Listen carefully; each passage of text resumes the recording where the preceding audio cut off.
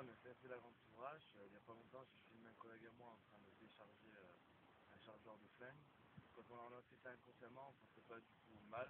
Moi, ça peut faire nous, le professeur et l'image qu'on donnait euh, au CFA.